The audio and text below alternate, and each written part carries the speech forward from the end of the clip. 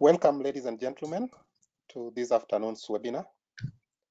Uh, my name is Hannington Amol, the Chief Executive Officer of the East African Law Society.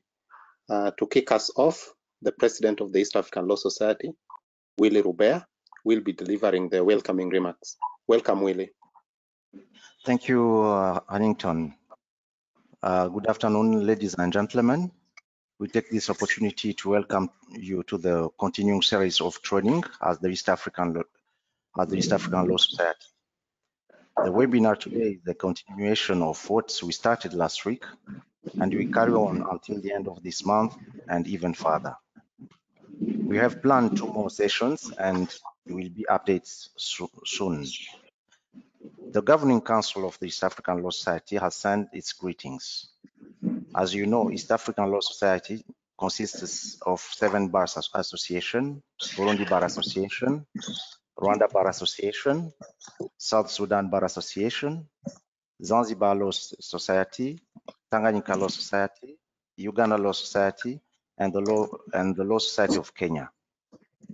All these seven bar associations work together to deliver the dream of the East African community, rule of law, good governance, and development of a united and vibrant legal profession.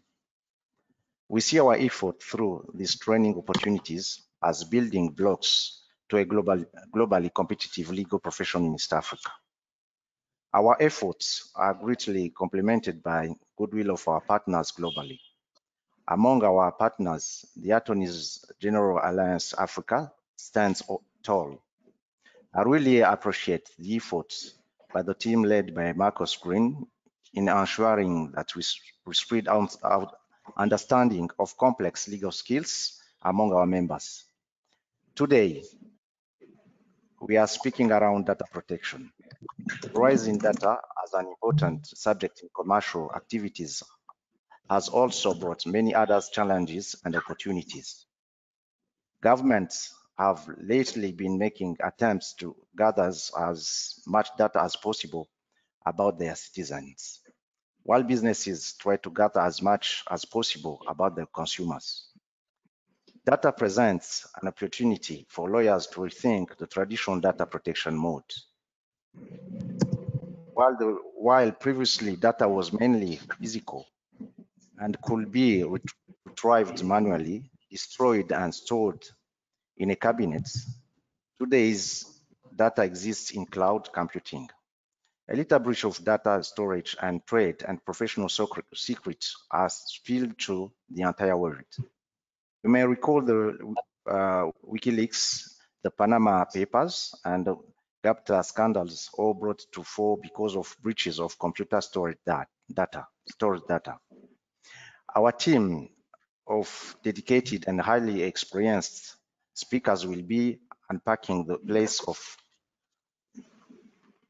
of lawyers when it comes to data protection. Uh, ultimately, your role is to learn how to come to can uh, how you can protect yourself, your client's interests, and how you can make business sense out of the rising data protection regimes. May I may I not forget to thank you for finding time to be with us, even when times look look difficult. I am aware that our members do not have the luxuries of traveling, attending to the, their work, or even getting businesses due to the constraints brought up about by COVID-19 pandemic. East African Law Society understands your plea and it's for this reason that we try to deliver this free training opportunity to enable you to build your skills and be ready to exploit emerging opportunities. I now take this opportunity to invite our guests and event sponsor, Norman Till, representing AGA, to do the opening. Norman is a uh, as a member of AGA has always been our also our guest wherever we invite her as ELS. Welcome, Norman. Thank you. Thank you very much, Mr. Rubea. And I indeed also echo your sentiments about data crime and security. data security has been on the rise, especially during this COVID-19 pandemic. As early as this morning, I received an SMS asking me to replace my bank card. Shortly after that, I received an SMS telling me to ignore the previous SMS. This was clearly a scam. The core reason we gather here today is to exchange knowledge. Knowledge on how to better combat data criminals. We must get ahead of the game. As we all know, at the core of our values as AGA Africa and EALS, we value the exchange of knowledge. We have done this brilliantly over the years. Last week, we held a webinar on advocacy tips in, and techniques in virtual courts. Facilitators, AGA Africa reps, and EALS participants, welcome. I'd like to take this opportunity to tell you more about AGA Africa and what our goals are. As AGA Africa, we train investigators, prosecutors, judges, magistrates, and other law enforcement officers on the investigation and prosecution of transnational crimes. We also participate in seminars and other events we educate, increase public awareness, and draw attention to the dangers of transnational crimes. We are proud to continue this practice online with webinars like this one. Our footprint is in eight African countries, namely Ghana, Kenya, Malawi, Nigeria, Rwanda, South Africa, Uganda, and Zambia. The conversation does not end here. Let us keep engaging, keep talking, and keep finding solutions. You can follow us. Our social media handle is at AGA Africa. Once again, our social media handle is at AGA Africa. Welcome, thank you, and over to our moderator. Thank you so much, uh, Willie and Norma for the welcome and opening remarks. My name is Aisha Sinda. I'm a senior associate at Goldman's Tanzania and your webinar moderator for today. Well, our topic for discussion today will focus on data protection, laws, regulations, and emerging issues. The importance of the subject is of paramount uh, because Privacy and data protection has gained unprecedented attention in recent years and specifically now with ongoing COVID-19 pandemic, requiring better and more elaborate rules of protection.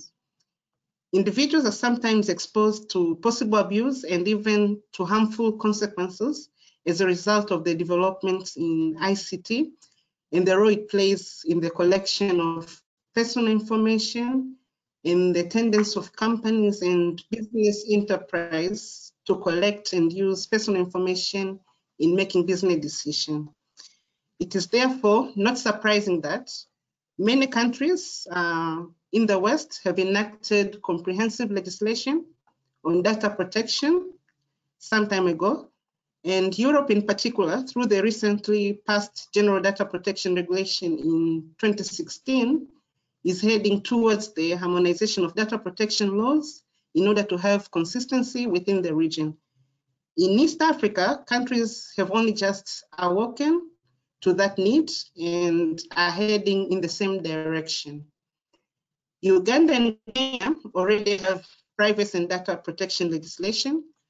Tanzania does not yet have a specific law, and there are reports that the government is drafting a bill to be tabled before the parliament for discussion, but it is not yet clear when it will be published. As such, to understand the topic and examine the impact of the EU General Data Protection Regulations, its cross-border application beyond the EU, data protection and privacy in East Africa and some of the emerging concerns, we have divided our topic for today in four sessions as follows. Session one, we'll have the introduction to data protection principles of data protection. Session two, the restriction of data protection status and comparative analysis. And session three, we'll have the opportunities for lawyers and corporations in data protection. And session four, we'll have cybersecurity and data safety. Each session will be for 15 minutes.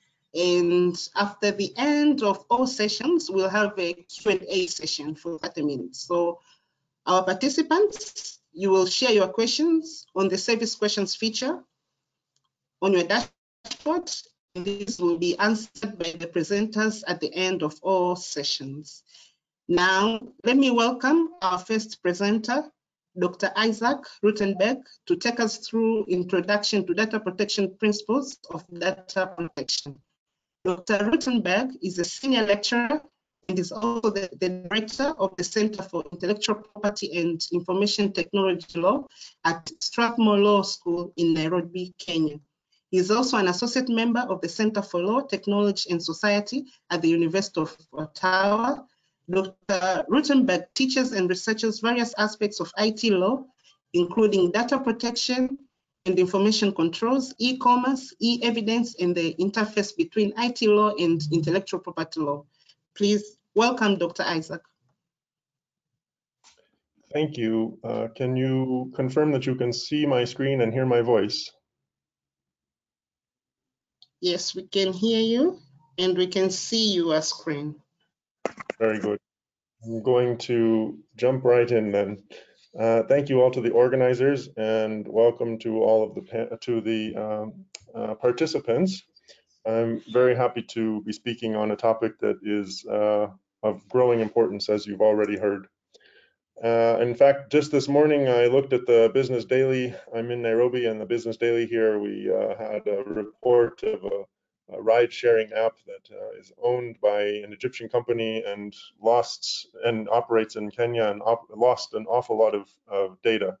So these sorts of reports are becoming more and more common, and uh, we can now talk about a legal framework for address, addressing such issues.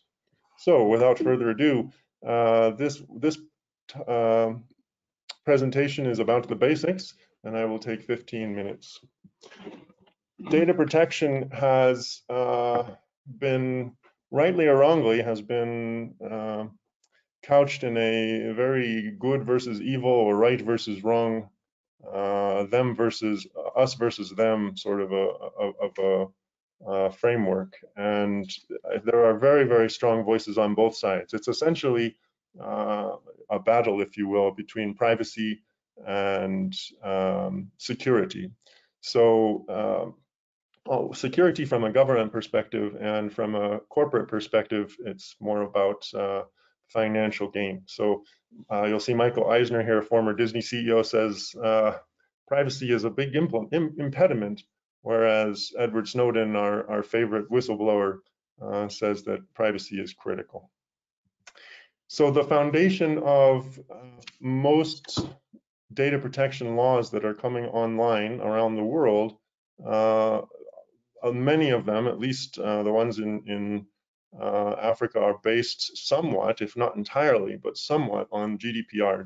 GDPR is the General Data Protection Regulation from Europe, and um, although it on, it's only two years old, um, it does seem to be becoming somewhat of a global standard. The uh, alternative is the US model, which is um, quite different, but I won't get into those differences.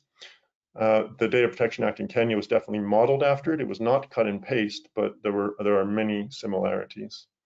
Uh, it is also quite uh, uh, the fines for uh, the GDPR violations can be can be quite dramatic. Well, they can be as small as 118 euros and as large as as 204 million.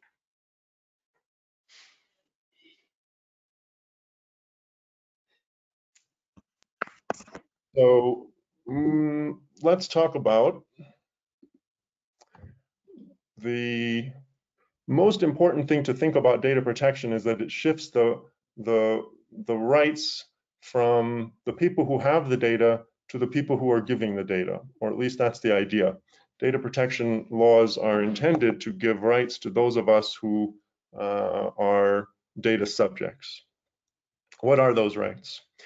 Uh, well, before we get to the rights, let's talk about what is that data. Sorry, the uh, personal data itself is anything that identifies you or can be used to identify you.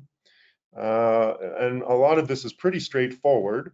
So your national ID is obviously uh, that, um, but other IDs that you carry around, your phone number especially, uh, national health care uh, identities, etc., social security, that sort of thing.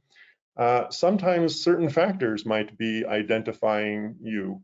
So if you say the person at Strathmore University who is uh, uh, six foot five uh, or almost almost 200 centimeters tall uh, and has a long ponytail, that you know that is an identifying factor that you would almost certainly be able to uh, trace back to me, for example.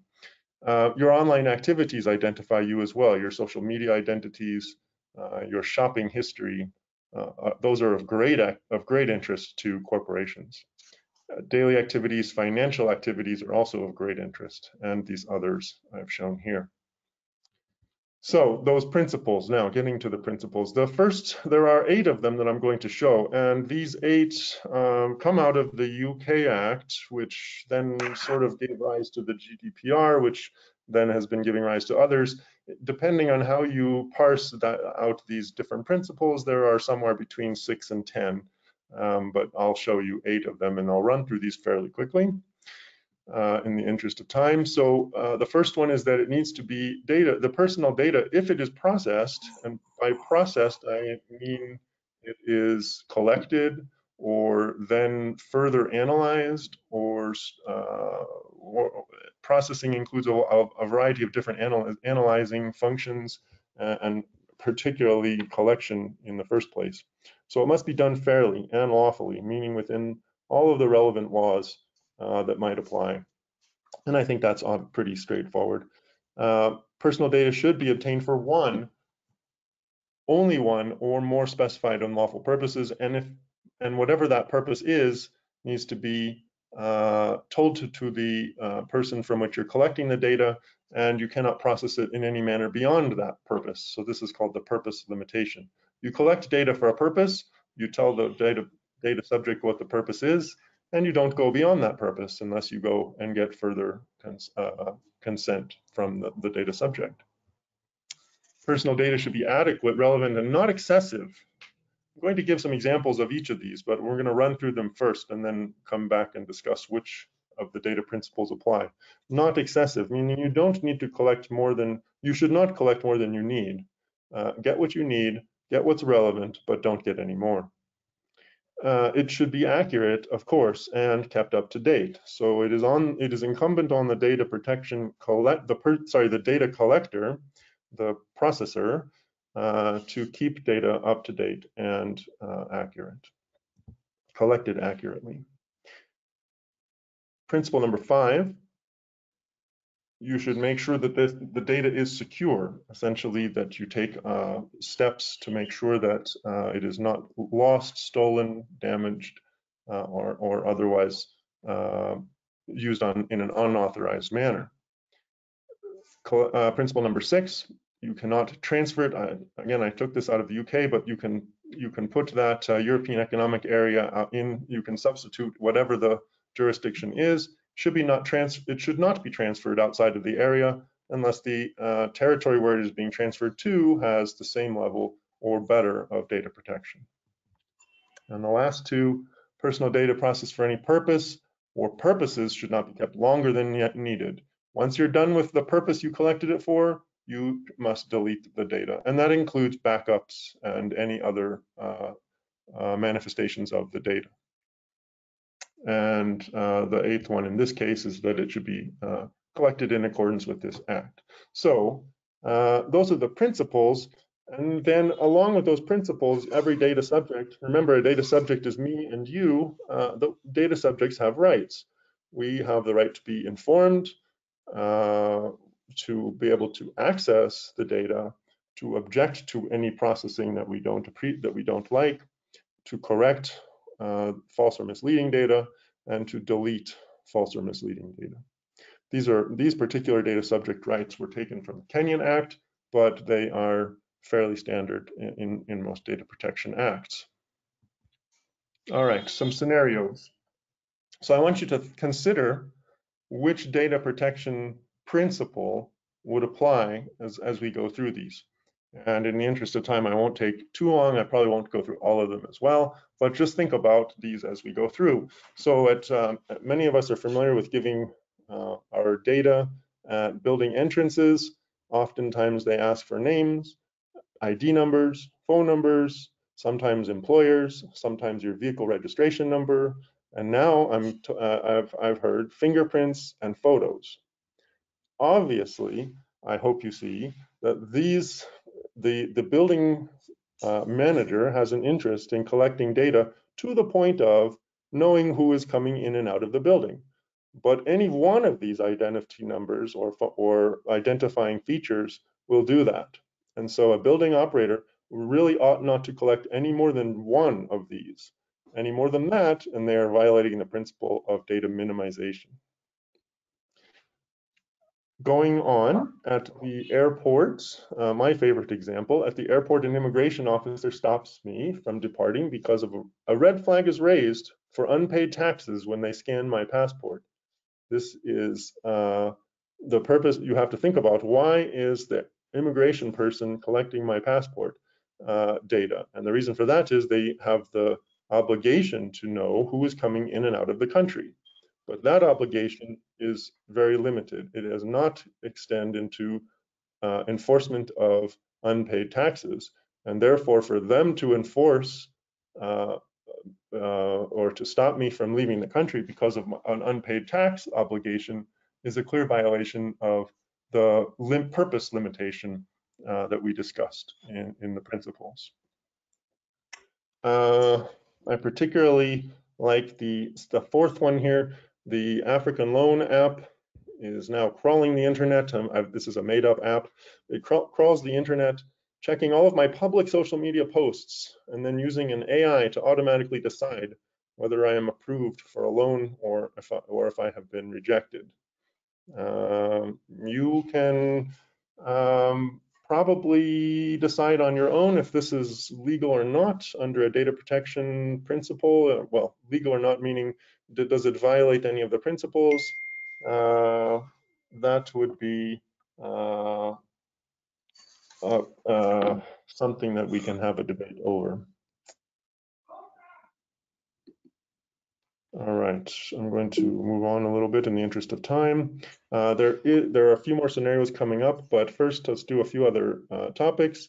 Stronger protection is required for children uh, in most cases because uh, they don't have the option, uh, they don't have the legal ability to decide these things for themselves, so you have to get parental permission in most cases. And then even stronger protection for personal data. Sorry, sensitive personal data. What is sensitive personal data? Uh, that varies from jurisdiction to jurisdiction. The list I have here is from Kenya. It is mostly the same as GDPR, um, but there are some interesting differences. It is basically anything that talks about uh, uh, your health status or your race or racial uh, or, race, or ethnic origin. Uh, it covers um, beliefs and religious uh, uh, religious positions. It, in this case, it covers marital status. Property details is one that's very unique to Kenya. the family members, your sexual orientation. These are sensitive pieces of data about you, and therefore the the um, uh, the requirements of how you, how this data is treated are, are even more stringent. So a few more scenarios. If an employee asks to take a sick day, and that employer happens to have all of your GPS data or access to your GPS data from the phone company, maybe they are the phone company, or maybe they at least have access to uh, an ability to get uh, your phone data, would it be a violation of the company to find out that you didn't actually go to the doctor when you were on your sick day, but you went to the beach, or you went to a clinic uh, that maybe specializes in abortions, for example. Uh, these sorts of uh, intrusions on your privacy are probably, hopefully, violating one or more of the of the principles. Or you might ask, can the employer ask for telecom data to find out if you indeed went to a doctor and not to the beach for that day? Probably that would be a violation as well. Uh, in a marriage, eh, sorry, in a in in a uh, job interview, perhaps the employer has asked whether uh, the potential employee is married or not. Well, that's uh, one of the sensitive personal data. It is under sensitive personal data, your marital status, and they must have a very good reason for asking that. And uh, of course, um, the, sens the sensitive data uh, provisions will apply to that. Okay, we're going to move on a little bit here. One of the requirements of data protection laws throughout throughout the world now is what's called a data protection impact assessment. This is uh, something that's relatively new, but we're very familiar with the concept. You can consider it something like an environmental impact assessment, where you go and uh, look at a project and what sort of environmental impact that project will have. Well, here you're looking at what sort of impact on data protection will this particular uh, activity that I'm planning, what sort of impact will it have? So if you're going to go and collect the citizenry data, the data of all of the citizens of a country, uh, for whatever reason, you're sure as, sure as heck going to need an impact assessment, and that impact assessment will look at the different ways that the data will be collected and used and, and uh, protected, uh, et cetera. Uh, even to individual companies that have um, activities that involve collecting data, particularly where some of that data is uh, sensitive personal data, you are most likely going to need to do uh, impact assessment. That impact assessment would then, um, depending on the law, would would be um, submitted to perhaps a data protection authority for approval. Some exceptions for the most part, there is one big way of getting an exception. No data should be processed unless, which means don't collect any data unless you have an exception. And the biggest conception, sorry, the biggest exception is consent.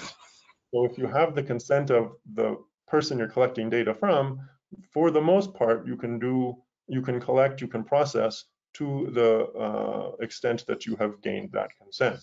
But even without consent, there are some other, uh, almost always other ways of getting um, the ability, the legal ability, the authority to collect and process data. Usually those are those have to do with legal obligations or uh, perhaps um, uh, government activities. When you enter a building, you are essentially giving uh, consent when you give data although the data that you're giving, you are giving your consent for the purpose of entering the building and nothing more usual. Consent is actually quite difficult uh, as a topic, and I believe many of the fights that we're going to see in courts uh, around data protection will, will be around consent, uh, issues of consent and whether consent really was obtained. So the uh, definition of consent in the Kenya Data Protection Act is that it is express, it is unequivocal, it is free, it is specific, and it is informed. That those are five requirements, and I would venture to guess that a lot of times we don't actually quali- we don't have all all of those, if not even if sometimes not even any of those. Some examples on consent. Uh, we are very familiar with uh, sort of use it or uh, sorry um, cons consent requirements that say if you don't accept our terms and conditions, you can't use the product.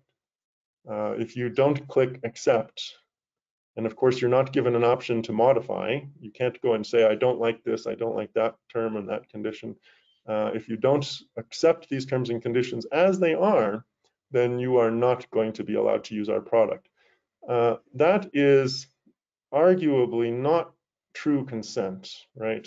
Uh, particularly when, now I can accept it, it may be for certain things, but particularly for, for products that are, um, that are absolutely necessary uh, or, or, or very, very important to a society. I don't know if Facebook qualifies as that, but certainly, uh, for example, your power company sending you an SMS and saying you can only consent by, say, by uh, agreeing to our terms and conditions in full Otherwise, we will stop, we will turn off your power. Uh, that is not a true consent, in my opinion. Okay, almost finished. Uh, a few last things. Uh, one of the most important aspects of a Data Protection Act or law ought to be, and there is this in fact in Kenya, uh, or disclosure of a data breach. If you have lost data, you must inform not just the people whose data uh, you've lost, but the data subject, but also the, the data authority the commissioner or, or whatever data authority is in place. You must you must do this, and this is incredibly important because it allows us to know what sort of data breaches have been occurring. The sort of thing I read about this morning in the Business Daily. Uh, I'm sure we will be hearing a lot more about things like that as the law becomes more uh, impact, uh, implemented. Uh, I believe almost lastly, uh, registration data processors, so people who collect data and data controllers, people who manage data must be registered with a data commissioner or with some sort of data authority. Uh, typically, there is a minimum threshold and above which you do need to register, although in theory it could be for everyone. And also, uh, there's uh, a requirement in Europe, but not in Kenya, for a data protection officer um, large public companies or, or large companies that are involved in data collection and data processing do not need a data protection officer under the law, but it is a good, a good uh, idea to have one. And lastly, uh, back to my fundamental question, good versus evil. Uh, you hear this very often. If you have nothing to hide, then you have nothing to fear. Uh, or, or just simply put, what have you got to hide? Uh, this obviously misses the point. This this uh, misses the point of privacy entirely. So um, balancing that privacy with data protection and and access to uh, uh access to information though is not at all straightforward. Um, just uh, if you want more information, I will. Uh, you can get a free a, a, copy of this book, which was published last year. It's available at our, our website at CIPIT's website, which the website address is here and I will uh, turn it back to the moderator.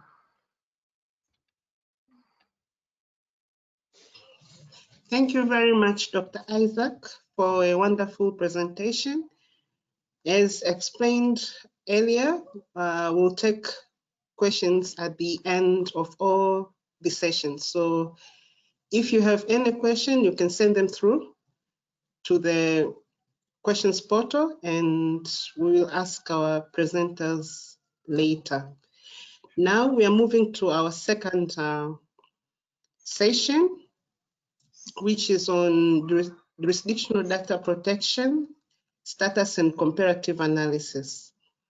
I would like to welcome our second speaker, Linda Bonyo. Uh, Linda is the founder of the Lawyers Hub, a Pan-African community of lawyers working to employ technology to easy access to justice for tech startups, improve digital skills for lawyers, and offer policy alternatives within the tech policy arena to African governments. In 2017, Linda founded the Lawyers Innovation Hub in Nairobi, the first legal tech hub in Africa to support tech startups and cross-disciplinary collaborations in law and tech. Please welcome Linda. Um, thank you very much, and um, thanks, um, Rutenberg, for uh, the able presentation. I think it was really good and laid a good basis for, for discussion. Um, and so my presentation is going to be a little bit more about um, just discussing and comparing and seeing what are the trends within um, the data protection, you know, arena. And so I just wanted to give you a map of Africa on uh, what, you know, how it looks like on, on data protection. Um, we have different countries that you know have come up with data protection rules um, and laws. Uh, we have some that have implemented them, um, but then we also have um, different you know countries that actually you know haven't brought this into existence. If you know what happens in Africa, mostly um, you know governments are political, and sometimes we make even data protection laws and any other laws a political process um, that may be brought together just for either as a donor requirement, um, a business requirement. If some of you are familiar with what's happening now between um, Kenya and USA, uh, where we have this free trade agreement um, that's currently being discussed, and so what's falling in between is intellectual property. And so Kenya has to, um, you know, amend its intellectual property laws to ensure that it can trade with, with the US. And so this particular, you know, political, you know, especially ge geopolitics um, greatly affects data protection. Um, and so sometimes uh, somebody or a country is not able to, a country is not able to get funding if they do not have these data protection rules in, in place. Um, and mostly this is government to government you know, discussions. Um, and so that's the same um, sort of way in Africa. If you see uh, the yellow um, dots, we have places where the data protection law have not been enforced. The green, we have places where it's been enforced. And for red is no data protection law at all.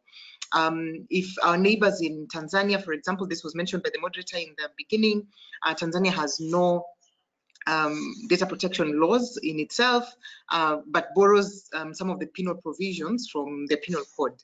Um, one of the countries that we, you know, is considered very progressive um, in Africa around data protection is Mauritius, um, and then also we have Ghana. They were really early in the game, and so um, even in hiring for the big tech companies, most of the time they would go for these two particular countries that have some really good, um, you know, experience and semblance of uh, data protection laws.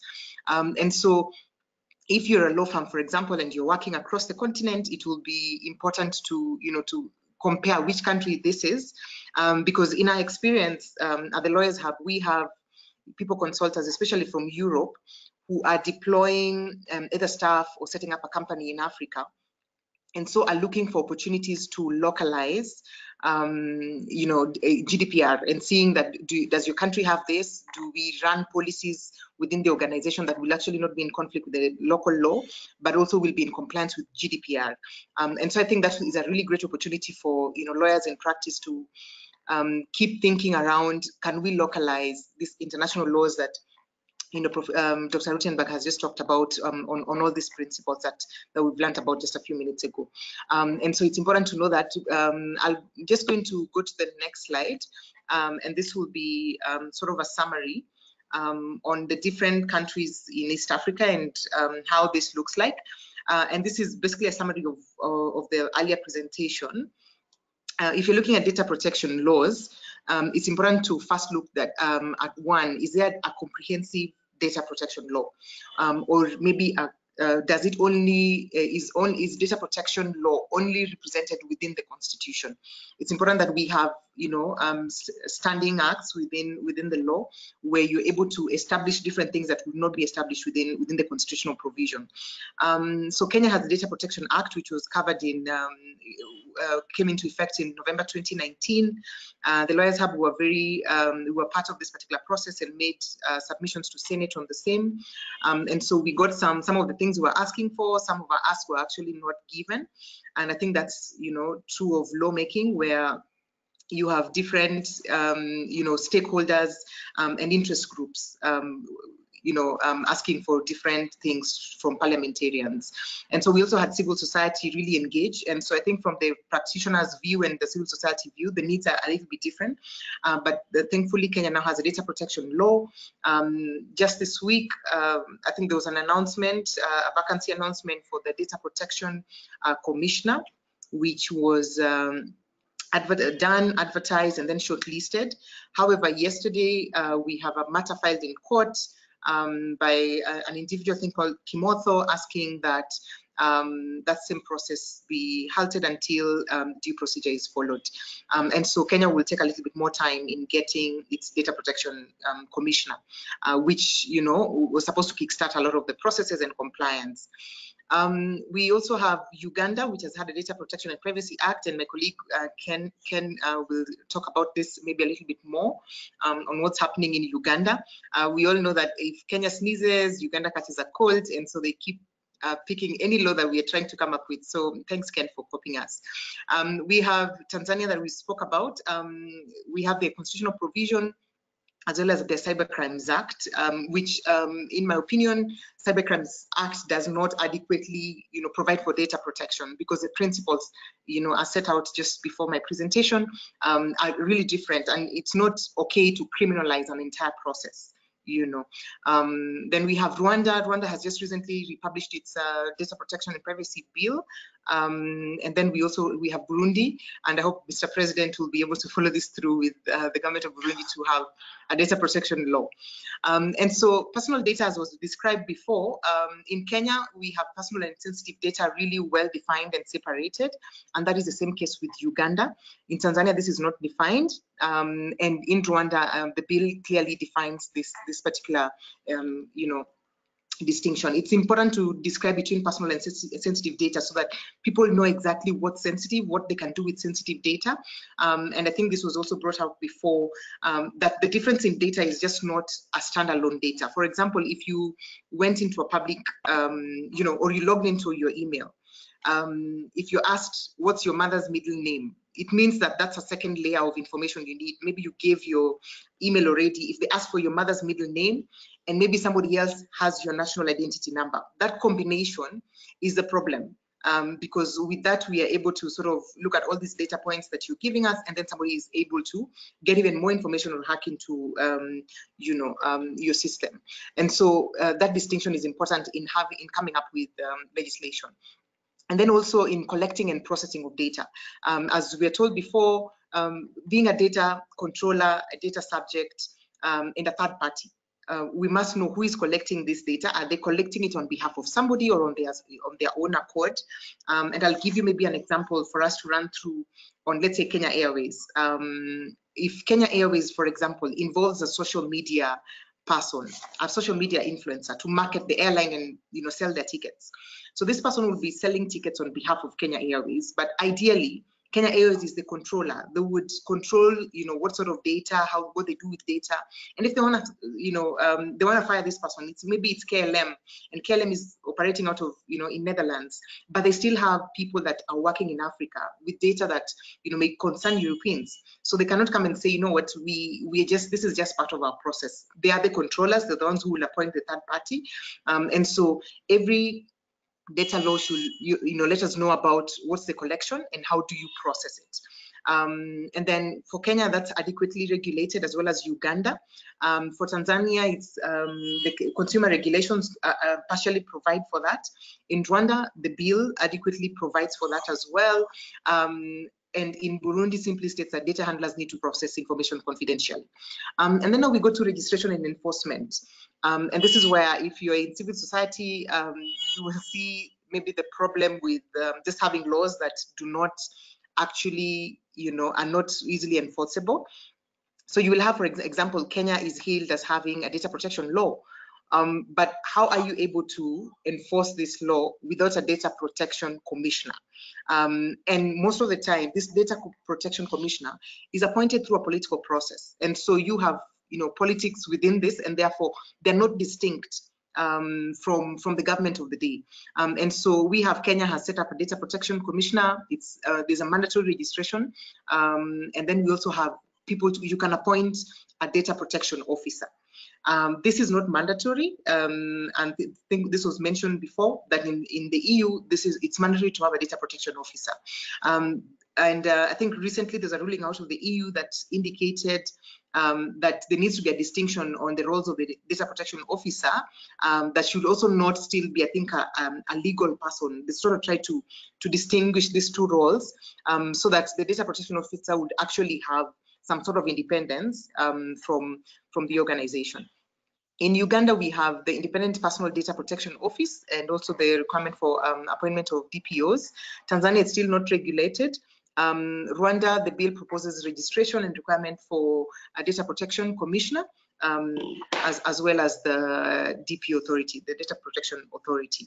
Um, we know uh, the independence of a data protection officer is basically a budgetary issue um, because if you do not have uh, a data protection officer, um, data protection commissioner that is actually not, you know, has to rely on either parliament or the executive um, to get this budget to run its, you know, um, its own its own office and, and staff, then there is no sort of independence in this particular case. So we hope that, um, you know, uh, our next sort of um, you know, constitutional making process that will be able to really distinguish um, and bring in this particular independence around data protection because data, as they say, is, is the new oil.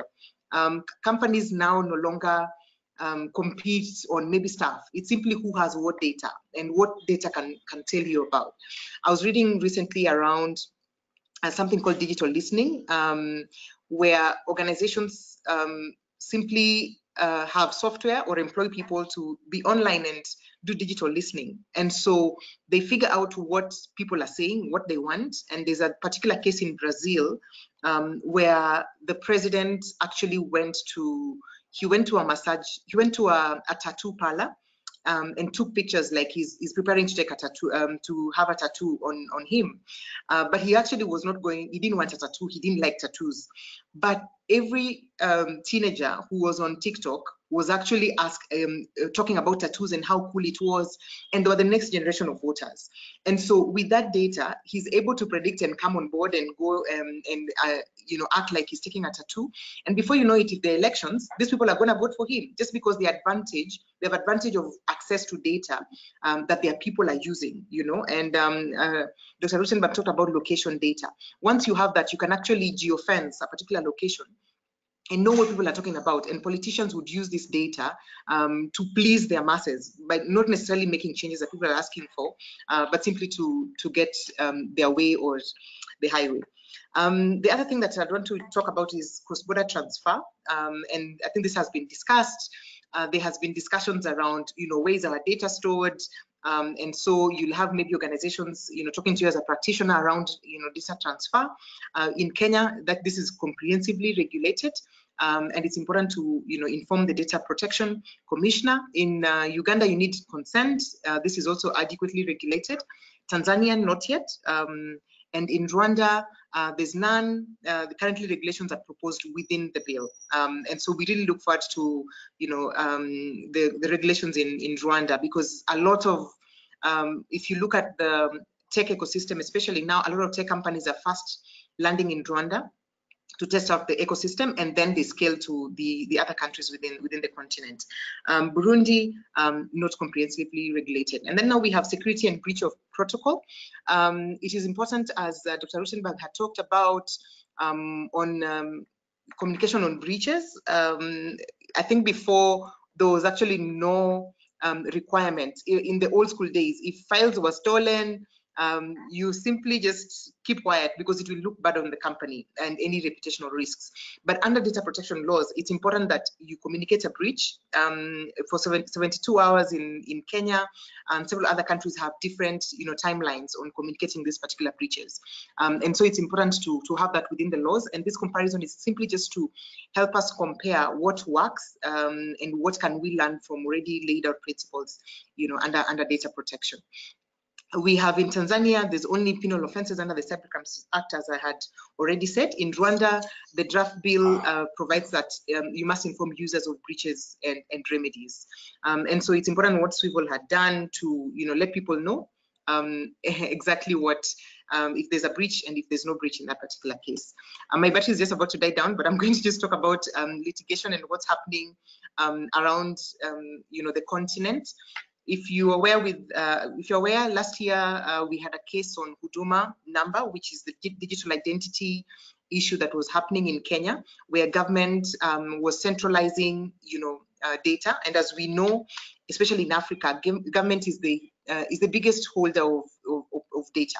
Um, and so we had this government trying to centralize uh, user data and using it as a prerequisite to um, obtaining government um, services. And so we had this NIIMS petition uh, that was brought um, to court by Nubian Rights Forum, the Kenyan Human Rights Commission, the Kenyan National Commission of Human Rights, and they sued the government. Um, and so um, the, the, point, uh, the, the major concern was on data protection, and they indicated that Kenya had no data protection laws, and therefore they should not have centralized, um, you know, uh, user data and then introduce a digital identity system. So this case is still, um, there was an appeal um, from what the courts indicated that government should not implement the system without a data protection law. Uh, the government hurriedly implemented the data protection law. Um, and um, what it still did, even though we have a data protection law in Kenya, the government is exempt. Most of the government processes are actually exempt from data protection laws um, on the basis of national security. Um, and so um, this is the approach most of the African governments have, have taken. And so we use data protection uh, against the big companies. We see it as something that will protect us from Google and Facebook um, and any and TikTok and all these other big companies that are you know collecting user data. However, um, my argument has been that this um, these companies are actually not um, they are not they, they, they don't have an army, they don't hold elections. Um, it's even more risky when government does not protect data protection laws because in Africa, governments are more important and more powerful um, than the tech, the tech companies. I also want to just point out the, uh, the case in Nigeria. Um, there's a, a, lawyer in Nigeria called Babalola, um, and so he sued Zoom um, on the issues of privacy, indicated that Zoom does not um, actually um, adhere to the Nigerian data protection law, NITA. Um, and also just recently, I think last week, uh, two weeks ago, they, they sued also TikTok. TikTok is a, a video um, messaging app that is really liked by teenagers. It's run from China. And the question has always been that um, any Chinese tech company has a backdoor to the Chinese Communist Party. And so you're ideally not um, independent as a Chinese company. Uh, and that's the same argument with Huawei and 5G that the US government had, had concerns about. And so we're seeing in Africa, especially in West Africa, you have people who are constantly suing this international organization and uh, these international tech companies, which is important to ensure that consumers are adequately protected. And so I have to, I urge lawyers to understand these issues so that we can engage a little bit more on public interest um, litigation. Um, and so um, those are the trends that we're talking about on, on, on, data protection. If you're a practitioner and maybe there are questions you're asking on what does it mean to practice in the area of uh, data protection, uh, we have, in our experience, we see companies coming in and asking for, you know, several documentation. For example, um, they need um, internal policies around data protection. Can you help your clients to come up with um, sanctions and remedies for data subjects within the organization? Um, can you have a record of you know, processing activities? Um, if you're hiring, for example, somebody has to sign these clauses on privacy within the organization. Are you able to um, to do work like that for for clients? You also need, you know, um, a policy on accessing data. You know, whatever if if it's the guard who stands outside um, your building, are you preparing a contract for them? Because guards now are holding a lot of data. Um, they know who's coming to the building, what's their phone number. Um, and so you need to have every employee um, signing this particular documentation so that you reduce the risks um, within within the company. Um, and so I think uh, it's important to to know the, um, and to begin to prepare for clientele, uh, especially for those who are representing people, you know, across um, the continent. This is, is, is very good. And then also you need a policy on retention of personal data. How long do you um, how do you how long do you keep data? You know, client data, even for yourself within the firm. How long are you going to have these things? Do clients sign off on personal data? Um, then what what about you know um, guidelines on data protection by default? or by design if you're building software as a, a, an organization what software are you collecting? If you're representing startups, for example, um, what what's their privacy policy? What what's what information is that app collecting? And so I think as a lawyer, you need to look at the trends and what's happening in this particular area. Sorry, I've taken a lot of time, but thank you very much. Um, I hope that you can visit us soon at the Lawyers Hub. Thank you.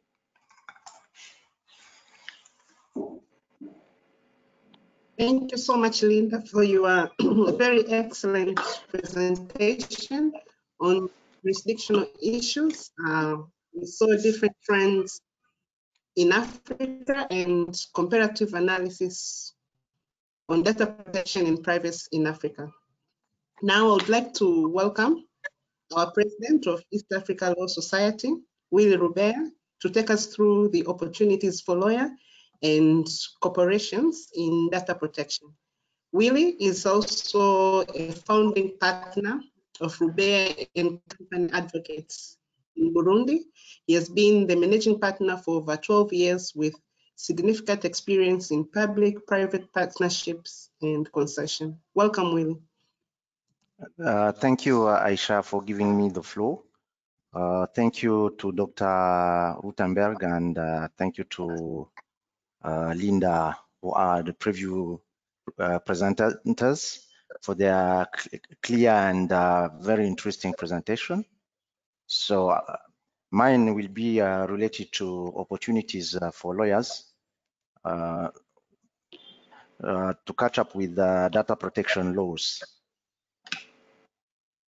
Um, sorry, I just want to to open up uh, my presentation. Sorry for the delay. Oops, sorry.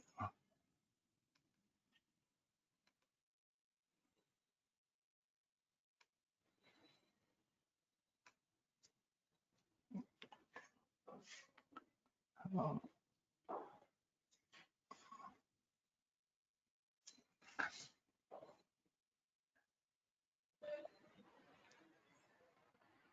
It's down there.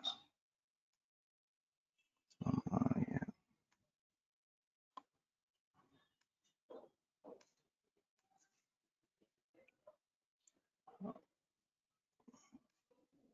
I just want to share my screen. Sorry.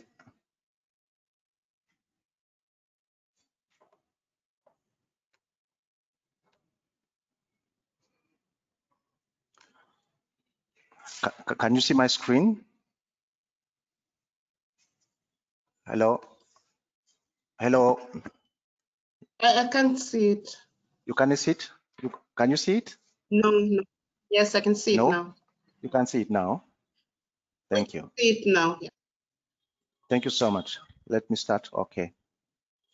Okay, my presentation will be related to opportunities for lawyers and, and uh, corporation. Uh, I will start. I will start with uh, data protection versus legal profession. Data, uh, data protection implies, as I said uh, earlier, uh, integrity of data. Lawyers have to play to play a safeguarding role to pro, uh, to protect sensitive clients' information in accordance with uh, general data protection. Uh, lawyers are the central key. Lawyers are the central uh, central key in promoting the law on data protection and privacy. According to Ridwan Oloyede in his paper entitled "Opportunities for Lawyers in Privacy and Data Protection," lawyers can play several roles as policy advisor, privacy attorney, legal consultant, legislative tracking, data protection officer, and legal researcher. Uh, as a, po- policy advisor and analysis, analyst, legislative paradigms uh, governing data protection are complex and technical and represent outstanding opportunities for lawyers with good expertise. Technology growth should be uh, cemented by good policies and lawyers can be either involved throughout the drafting process or intervene at the public consultations level. I just want to go qui- uh, through quickly. Maybe I'll be longer when it will come to questions. Uh, the second role is um, uh, as a privacy attorney. Data protection laws enable data subject to seek remedy either before a regulatory authority or domestic court when they, their rights are vi- violated. Legal cases situation whereby organization, uh, organization are held accountable before national courts can lead to opportunities for collaboration between private lawyers with co-litigation lawyers to smoothly handle the situation. Thirdly, as a legal consulting, the complex requirement of data protection legal framework lead most often to situations whereby companies need to seek advisory services for lawyers for compliance and one hand on one hand, but also for competitiveness. The lawyer can uh, can play a role for legislative tracking. In compliance with the general rules of data protections, lawyers are expected to deliver legal opinions with value-added insight which can lead to business improvement for companies. Uh, we can also have uh, a role as a lawyer, uh, we can be as a data protection officer, as that had been said before. I'm jumping on that because that have been said before. And also, we can uh, play a role as a legal researcher and fellow. Lawyers tailored, uh, tailored with the data protection expertise can embrace academic career and co collaborate with research institutions. Now I want to talk about opportunities for corporations.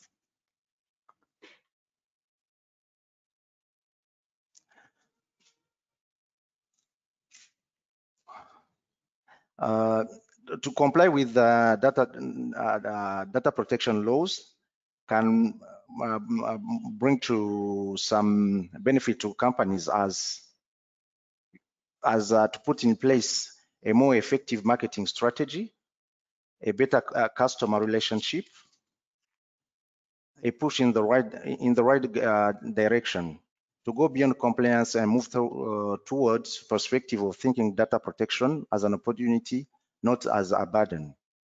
Enhance uh, business reputation, update your technology, more accurate and secure and organization data. This is uh, bring up uh, a, a, good uh, image of the company, and that is uh, really important for the reputation of companies when we are dealing with data when we are collecting and processing them.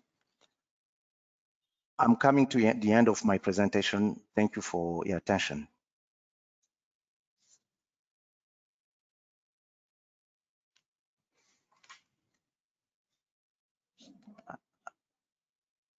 My camera is off. Okay. I'm turning, turning back you, to the moderator. Thank you so much.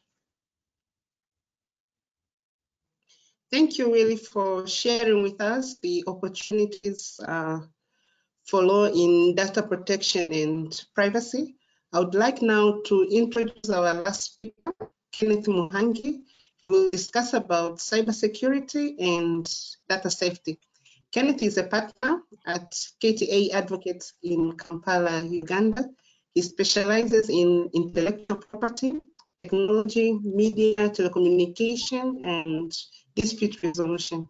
In the area of intellectual property and technology, Kenneth is a renowned award-winning author and trainer, and this has cemented his credentials as a specialist in the aforementioned practice area. He has conducted specialized trainings in areas of ICT, such as blockchain technology, digital banking, and data protection, among others. Welcome, Kenneth. The floor is yours. All right, thank you very much. I hope you all can hear me very well. Uh, thank you, Mr. President, for that presentation, and also thank you to the previous presenters.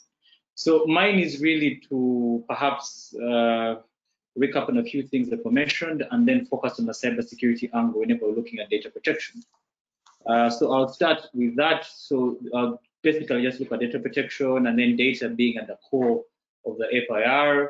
Uh, I was going to look at the, the, the, framework in East Africa, but which Linda succinctly look, uh, looked at already. And then we'll also look at what other jurisdictions are talking about, and then just general advice, which I'll be able to advise on data compliance and the like. So I'll start with this. Um, Yuval is one of my favorite authors. I talk about him every time. So people are usually afraid of change because they fear the unknown. But the single greatest concept of history is that everything changes. So as you can see, really, by the time we're having an East Africa Law Society training or webinar, and we're having it online, uh, just a few months ago, we're having meetings in uh, in in hotels, and uh, we had to jump on flights. Uh, the last one being Linda's Linda's uh, event that she organized in February. So in terms of change and all these things that we're using, all these platforms that we're using, the one constant that they have is data. And in the new world, so we're looking at the fourth industrial revolution. Um, for those of you that are listening, I'll just recap for you. The 4IR has aspects of drones, has aspects of the Internet of Things, have aspects of data protection and privacy, and uh, artificial intelligence as well. Now, in terms of what, what, uh, how, how does the 4IR apply to us in the new world? One, uh, what has made us Homo sapiens? What has made us human?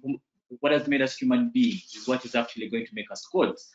Because if we can, if I can sit here in Kampala, Uganda, and I'm able to talk to Willie, who is in Burundi, talk to Linda and Dr. Rutenberg, who are in, Kenya, and you have Norma and the rest that are in South Africa, and other listeners all over the world, surely, and we uh, going into the realm of gods.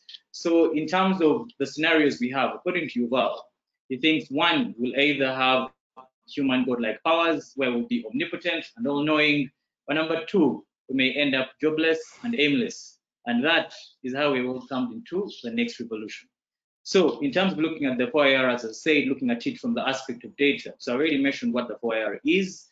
I, I cannot stress this unequivocally. The 4IR is already here. Not it will come, it is here, especially during COVID. We've seen really how important the 4IR has been. So why should you care? Of course, we're going to look at aspects of data protection and why you should care about data, not only for your organization, but also for the lawyers that are listening, why you should be uh, conversant and know about data protection so that you know exactly how to advise your clients. So moving on, in terms of how we are in the 4IR, our world is completely interconnected in the sense that if, if you're looking at the legal profession, when we're in school, would you know specialize in either one subject or the other. Remember, I sucked at math, and it was only during university when you know I came into my own and when I started doing law, and I realized that most of these subjects are interconnected. Even now, uh, when you look at science, um, uh, everything is interconnected, especially in the 4IR.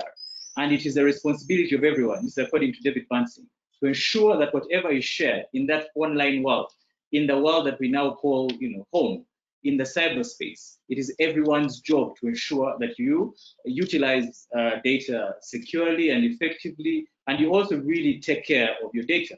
So I like philosophy um, a lot, and there's a French sociologist, Émile Durkheim, that insisted that when you're looking at maps, uh, that, that basically uh, each of us has a history, and each of our histories basically uh, is able to let us know who we are and what our place is in the world.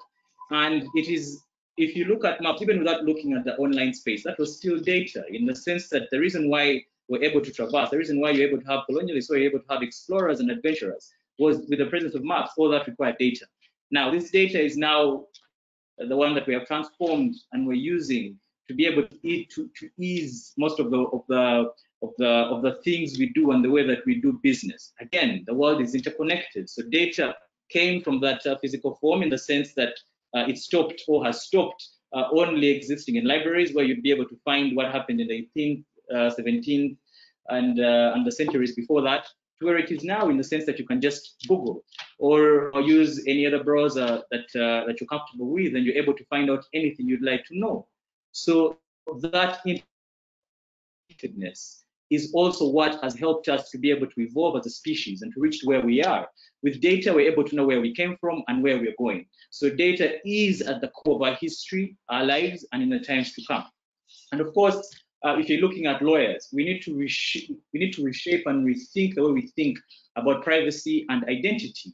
Um, if you if, if you're looking at the subjects that we're looking at now, for example, we're, we're looking at uh, at uh, things to do with evolution, things to do with DNA. Um, for those of you that are into science or biology, understand that DNA or, or cells are really uh, are the building blocks of life. Now, when you break that down, all that is still data in the sense that the way that us as human beings were able to comprehend or understand uh, such things like, you know, how is uh, how is uh, my head composed? How you know how can I see the way I see, or everything else about me? So that has been broken down into data. But again, when you look at that data, especially with what's happening in the field of uh, biology, I mentioned there there is the developments with CRISPR. Um, for those of you again that are interested in biology, in gene editing, so all these new developments utilize DNA, utilize data to be able, one, to identify, uh, let's say, strains of disease, and, and then they're able to find ways to be able to combat these. Now, if you look at, at, at also the history of the world, um, there are different components as to how the world was created. But if you look at one, one of them, George Lemaitre was in fact actually a devout Catholic.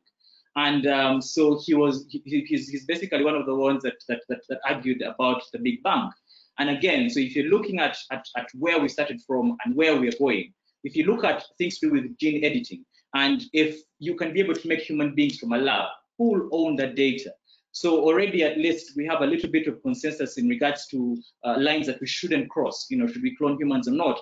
But again, if you break that down, who owns the data or who who uh, who will be who will be liable in case, uh, let's say there was a, there was a, a hack. Um, so again, if you're looking at other things like insurance companies, uh, employees, um, all the rest, this is all data that is now going to be used, one, to make work easier, but may also be misused to, to either uh, uh, one cause uh, distress to a certain uh, sector of the population, or perhaps also be able to commit crime. So, but on the other hand, if you look at the use of data, especially looking at the aspect that I'm talking about being gene editing, you see that that particular data or mapping in particular will, will, will help doctors to be able to know for a fact, you know, up to 92% that a particular medicine will work on someone or not. So all these really, again, I'm just really skimming through this. Perhaps in the question and answer, you may be able to ask more, and I'll be happy to go deeper into some of the things that I have mentioned. But as I, I put a quote there by Francis Bacon, in terms of especially um, that a little philosophy inclines a man's mind towards atheism, but depth in philosophy brings a man's mind about religion. So as we're arguing with these things, we shouldn't look at them independently. The reason why I bring all these things up, even when we're talking about data, is to show you that data has been present from the past to before the past to now and in the future. And the more we keep talking about these things, the more we see the importance of data, perhaps that's how we'll be able to regulate it in a, in a manner that will help us to be able to utilize it more and that will also help us to be able to make the most out of it. Of course, um, if you're looking at, at the cybersecurity aspect, uh, I've, I've identified a few crimes here that involve data. You have identity theft, of course, gambling, money laundering, hacking, network intrusions, email scams.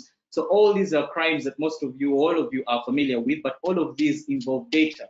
I can't think of actually any electronic crime at the moment that does not involve data because as long as you as long as you have that aspect of electronic crime, then you have personal identifiers, the ones that uh, Dr. Rutenberg talked about and Linda mentioned as well. So all those personal identifiers, in terms of that, you know, how do you then prevent, how do you stop uh, uh, users from, you know, from uh, from using data for, for ways that it wasn't uh, supposed to be used? Of course, in artificial intelligence, deepfakes are also a really, really big problem. Uh, so deepfakes are really learning, which refers to synthetic media in the sense that people are now using artificial intelligence to be able to create um, either uh, cartoons or memes or images or videos as well. And most of these are used in revenge pornography, are used in fake news, in hoaxes. But again, most of these images also utilize personal data because these images are mined from particular databases.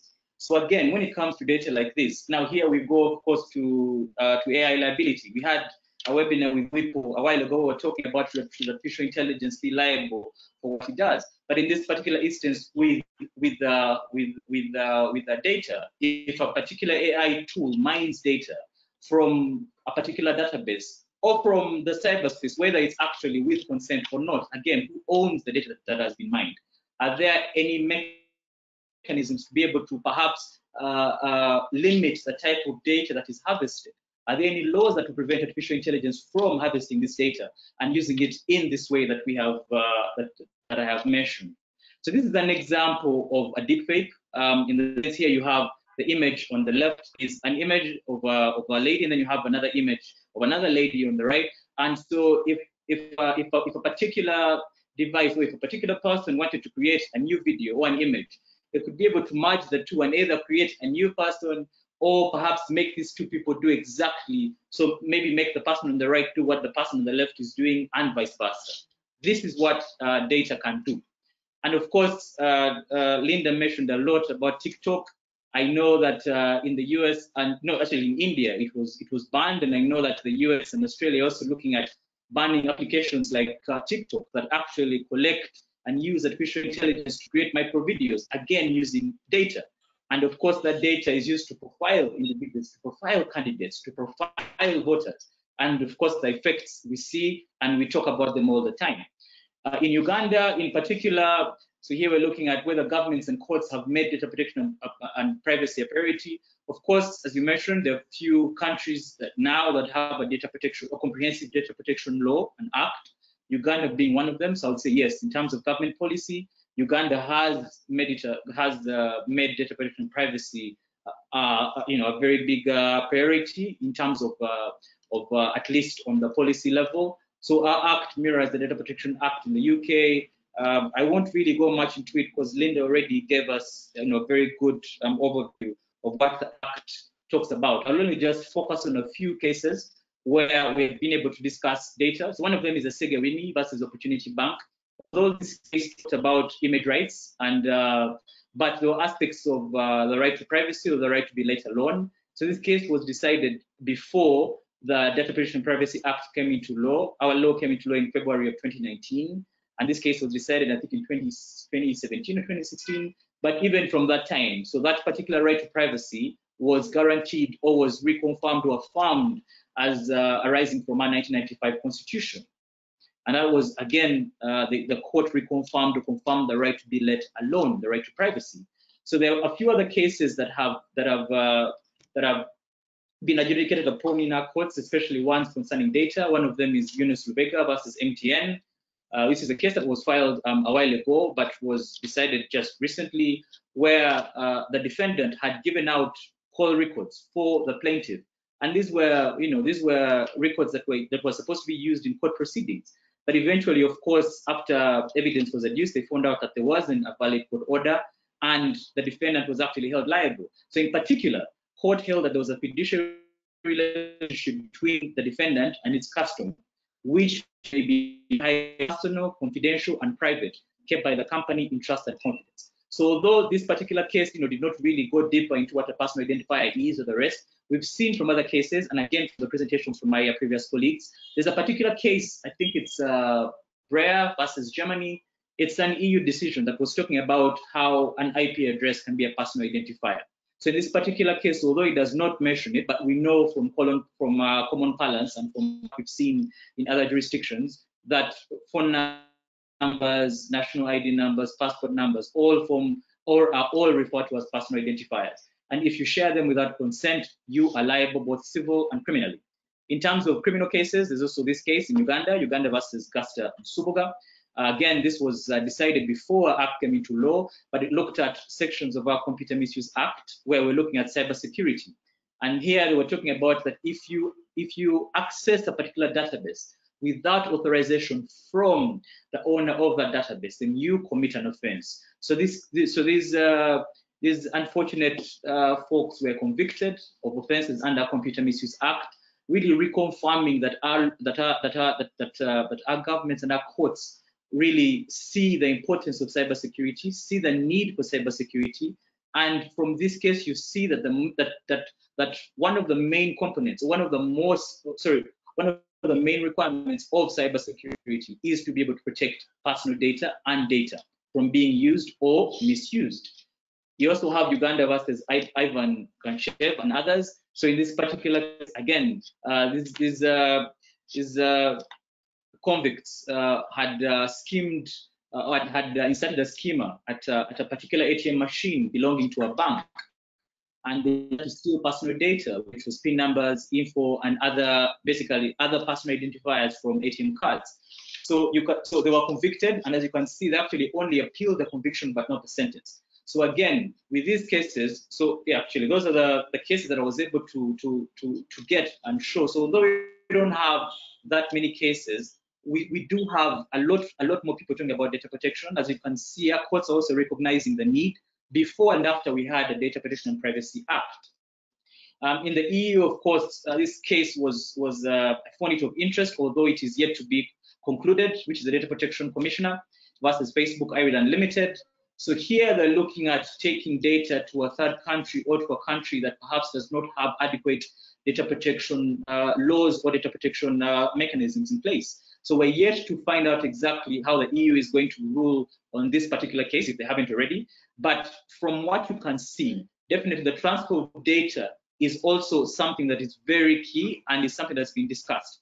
Good, uh, as, uh, a good thing is for most of us, our laws are adequate in the sense that if you transfer data to another country or to another jurisdiction, it must be done or it must be transferred to a jurisdiction that has adequate controls and is able to prevent uh, any breaches for or of that particular data.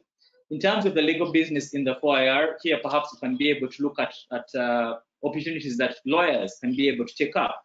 So data or privacy, tech, tech, you know, in general, e-commerce are now big, especially during this time of COVID. So one of them, of course, is, is uh, e-commerce. Every e-commerce business deals with data. All of them do, and all of them need to be advised on aspects of data. All of them need a data protection officer as mandated by each law. So these are opportunities for lawyers. Um, of course, you also need to be alert to uncontested spaces, especially when you look at East Africa's unbacked and underbacked populations. FinTech, uh, there are a lot of companies that are coming up to offer microloans, and most of these are using data to facilitate the loans. Uh, gone are the days when you had to have property to be able to get a mortgage. Now you can have your data, and that will be security because from your data, someone who is giving a loan or a lender is able to be able to ascertain whether you are someone who has you know a good credit rating or a low credit rating and they're able to give you money or not. So there are entities like Umba, like Tala that are, that are doing that and continue to do that. So these are opportunities for lawyers as well to go after these particular clients. And of course, there are also several micro SMEs that now deal with data. Every company now has to work with a website. Again, I'll reference COVID.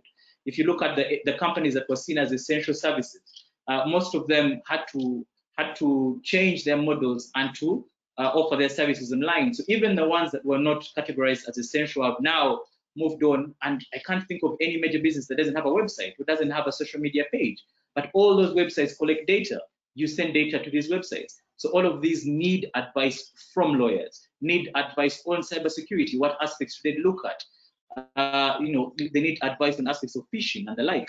And then, of course, in terms of policy and legal framework, Linda mentioned how she was critical in trying to push for the Data Protection Act in Kenya. That was the same thing we're trying to do in Uganda. We have a cluster as, you, as a Uganda Law Society, and uh, as the ICT cluster, we, we also gave views on, the, on, our Data Protection Act and on, on, on the various laws that govern uh, data protection and cybersecurity in Uganda. So those are also opportunities for lawyers to be able to advise on policy because you can't you can't uh, operate in a market that doesn't have clarity, especially when when you have issues of data protection and privacy.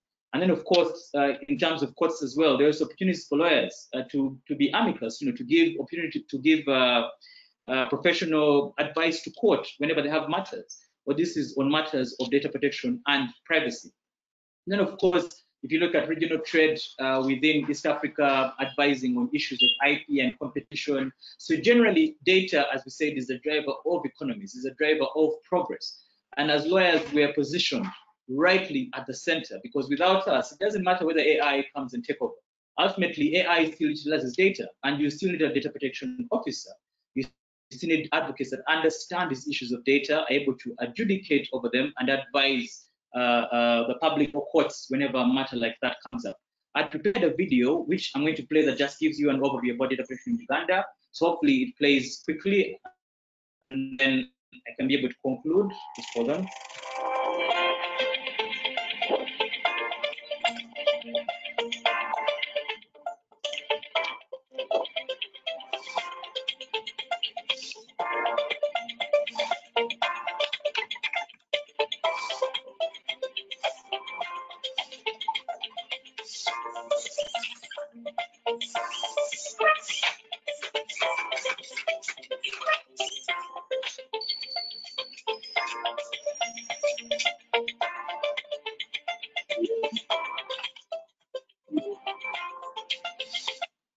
So um, the video really just gives you the overview of what, uh, of what a data protection act is in Uganda and really most of the data protection laws in the region.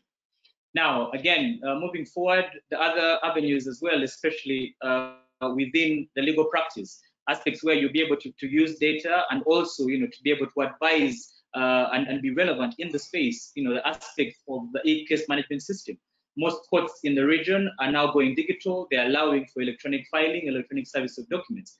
Again, here, whenever that happens, you have data protection issues because you're dealing with personal identifiers. But number two, you also have cybersecurity issues. What happens in cases where data goes, you know, uh, missing? What happens in cases where data is stolen? What happens in cases where the system is hacked? Um, again, uh, data has also been used to bring justice closer to the people. So you have a lot more entities that are giving legal services online, uh, entities like Barefoot Law in Uganda. Uh, there are others in the region, which I cannot remember offhand, But again, these entities use data to be able, one, to know what are the biggest concerns that the, that the, that the population needs, what legal problems they need, and how can we address them. So most of these entities are using or leveraging on technology to break the hindrances, also in finance and geography. And of course, when it also comes to electronic evidence, for those of you that are in Uganda, uh, next year, I'm certain that one of the biggest issues will be issues of electronic evidence because we're having elections in Uganda. And, and uh, according to the roadmap that was released by, by, our, by our electoral commission, we'll have a lot more focus on, uh, on, uh, on, uh, on uh, digital. We'll have what we call scientific elections. So after that, when, when the election petitions come up, for the lawyers that are listening, are you positioned enough to handle cases where you'll be able to succinctly explain to court and, and argue on behalf of your clients of aspects that, that, that, that concern electronic evidence or digital evidence or data, uh, smart contracts and the rest, all these still require data. But for all of them, data and security at the core or essence of or for all the above. So in terms of staying relevant, my advice or advice is, you know, always, you know, remain forward thinking, uh, instead of shunning technology, innovate and find new and better ways of making sense of it. Have a culture of innovation. So if you see the organogram, you know, on the side, you know, move from profit to purpose, from hierarchies to networks, from controlling to empowering, from planning to experimentation, but mostly from privacy to transparency. Now, transparency in the sense of how you do your business, but transparency also in the sense that how you keep your data. If your data is secure, you know, show people how is your data kept secure. And of course, just always constantly innovate and engage. Um, I think, yeah, this one I already mentioned. So this also just really summarizes that if you look at the red ocean strategy, uh, this is red is uh, for, again, you'll see where you fall. Are you competing in the existing market space or are you creating an, an, an uncontested market space? Data. Are you, you know, are you focused on beating the competition or are you focused on making the competition irrelevant? Are you focused on exploiting existing demand or are you focused on creating and capturing new demand? Are you making the value cost trade-off or are you breaking the value cost trade-off? And then lastly, are you, are you aligned or do you align your whole system with a strategy of, of choice of, uh, of, uh, of uh, differentiation or low cost? Or have you aligned your whole system to, pass, to, to, to pursue low cost and to, and to differentiate your practice from other practices? So in terms of whether you should, how, how to remain relevant, as I mentioned, the 4IR has made structured bodies of practice irrelevant, so you need to adapt.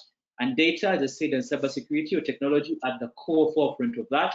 Anyone can be an expert, but you have to put in the time, you have to put in the hours. And of course, have also honest conversations within yourself and the rest, learn and unlearn. So all of which leads to the question, what should we do? So as I said, one of the quotes I gave earlier was for Francis Bacon. Another one is for Albert Camus, who is another philosopher and a proponent of existentialism. I think others are Jean-Paul Sartre, um, uh, Voltaire, etc. So most of these say that seeking what is true is not seeking what is desirable. So in this instance, what is true is that the legal profession has changed.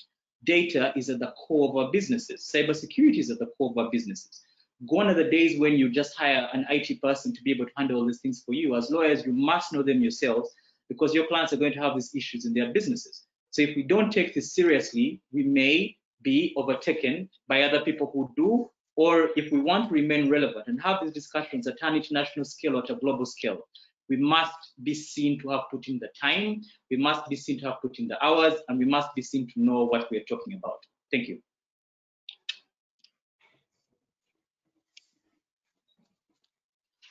Mm -hmm. uh, thank you so much, Ken, for your excellent presentation on security and data safety. And before I move to the Q&A, I would like to thank all our presenters for their excellent uh, presentation. And I would also like to add on our presenter's presentation in relation to, to Tanzania because I think we have uh, learned so much about uh, what is happening in Kenya and Uganda, although Linda gave a fantastic uh, comparative analysis. I think in Tanzania, there are many gaps still to be closed uh, in relation to emerging issues on data protection. Uh, specifically, the lack of a comprehensive statute has left many gaps in respect of privacy and data protection. For example, among the laws uh, discussed by Linda in relation to Tanzania, um, there is no express provision on data ownership and whether individuals whose information has been released have any power over it once it is under the control of third parties. And also there is uh, no provision relating to whether data can be transferred to a destination outside Tanzania with or without consent of the, of the subjects. Neither is it clear if an individual has the right to demand their personal information be deleted from the records of the parties who collected it, even if this was for legitimate reason. Then there's a fact that the legal provisions are embodied in separate instruments, resulting in discrepancies, especially in relation to punishment. For instance, uh, under the Cyber Crimes Act, an offense of interception of a private communication is punishable by a fine of 10 million Tanzanian shillings, close to maybe 4,000 US dollars, or to imprisonment for a term of three years while under the investigation regulations of 2017, the punishment for the same offense is a fine of 5 million shillings, which is close to 2,000 US dollars, or imprisonment for one year. Also under the Cyber Crimes Act, an order of disclosure of information can be made by a police officer in charge of a police station, while under the investigation regulations of 2017, an order of disclosure of protected information must be made by the inspector of the inspector general of the police. So what I think, uh, what is clear for Tanzania is that there is a need of a comprehensive statute on privacy and data protection. And I hope that uh, the government can expedite the ongoing efforts at preparing the much anticipated bill on data privacy and protection so that uh, we are not uh, left behind. So now I'll move to the Q&A. On the first round of Q&A, the first question goes to Dr. Rutenberg. Data protection in the mass computing age is really novel, especially in East Africa. African countries have been accused of blindly borrowing laws and regulations from Europe and mechanically applying them without regard to our circumstances. Is there room for the continent and the East African region to develop distinct principles or jurisprudence around data protection unique to our circumstance? What would such principles or jurisprudence look like? Should I repeat for you or you got it? Um, I, I got it. Do you want me to answer that before we go to other questions, or are you going to ask several at once? Yeah, just respond to each and then I'll go to the next question. Sure. Um, I think it's a fair question. Um, and uh, let me first say that um, we didn't um, we didn't exactly copy paste uh, GDPR into Kenya. We did uh, introduce different aspects of the Senegalese Data Protection Act and also um, some unique aspects of our own. So I would say uh, it is not um, it's not entirely that we did that. I do think, however, that there is a lot of room for uh, for some development of more um, localized, contextualized jurisprudence and laws. Um, one of which I think is is is really apparent is in the area of con of consent. Um, what consent means to an average European probably means something very different from an average Kenyan or Tanzanian or or any other country. Um, I, I, think that um, I think that definitely research ought to be done into that. Um, some evidence gathered before we, uh, you know, before we um, conclude what it even what some of these terms even mean in in our local context. Unfortunately, um, well, okay, we have two possibilities. We're, we're either likely going to start looking, when, when we see court cases, which is where most of this jurisprudence will, will come out of, uh, the court cases might look directly to Europe and say what has happened under GDPR, and then we'll just uh, rule similarly under that. Um, it's it's possible that they may not, but uh, but given the similarities of the laws, and there and there is quite a lot of overlap, a lot of similarity, I think that that's that's more likely to happen, um, which really only leaves uh, academia to, although I'm the lone voice of academia here, I believe at the moment, but uh, I would say it's up to us really. Oh, not I'm not the lone voice. Oh, sorry, sorry, Ken. Um, I uh, think. Um, we uh, we in academia have a, a, role to play in that absolutely in developing some of that that, that jurisprudence. So. Um, actually, uh, thank you. Aisha, would you mind if I just added something small to that? Please proceed. No, I, um, as Dr. Rutenberg said, actually wanted to say thank you to him because of Strathmore's uh, Center for IP. I know that uh, them and my students, Isaac, I don't know if you remember, Uganda Christian University, uh, yeah. Your students of mine over the years have always, you know, competed over that. So yes, I do agree with him in terms of of, uh, of uh, us, especially that teach and lecture, to be able to impact or impart most of these into our students so that they're able to compete favorably. That's all. Thank you. Thanks. Uh, thank you, Doctor. My second question goes to Linda.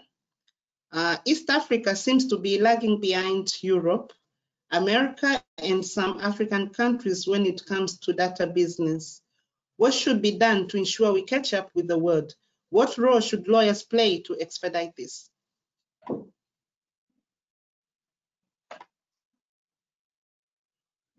Ms. Aisha, may I please ask that we move on to the next question? Linda is experiencing some technical difficulties. She will log on again shortly.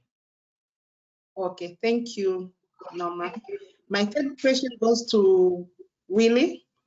Are we going to see development uh, and elaborate data protection practice among lawyers? Like we now have arbitration or commercial law practices. What should lawyers do to equip themselves ready for this kind of practice?